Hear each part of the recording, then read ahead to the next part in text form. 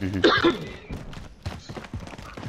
I didn't smoke at all until I got home, bro. I stayed sober through the whole thing. I wanted to focus. Mm. That was Damn. awesome.